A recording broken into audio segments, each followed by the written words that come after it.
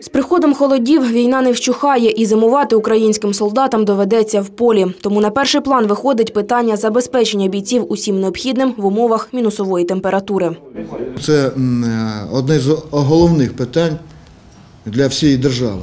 Зараз і волонтери працюють над цим, і створений комітет при Міністерстві оборони із числа волонтерів. Вони взаємодії працюють також з, нашими волонтерами.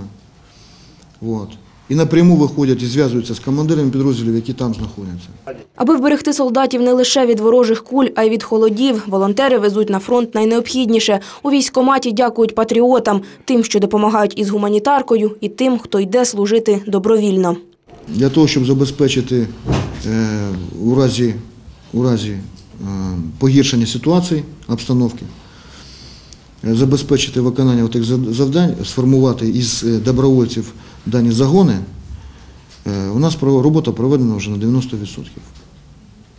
Тобто, правильно ви кажете, що є такі, які в 70 років приходять і просять, візьміть мене, запишіть.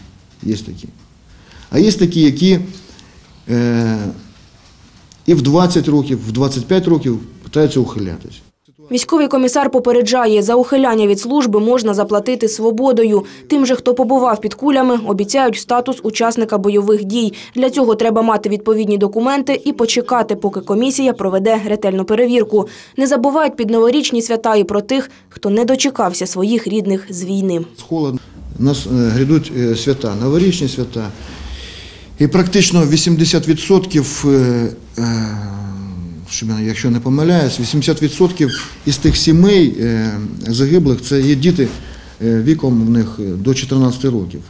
Є пропозиція через центр технологій наших, мають бажання значить, діа- діаспора допомогти, ну, подарунки зробити. Причому подарунки не маленькі, а це велосипеди, а це і ноутбуки. З дружинами та матерями загиблих уже спілкуються. Подарунки до свят вони оберуть власноруч. Наталка Лисенко, Віталій Вірченко, АТВ.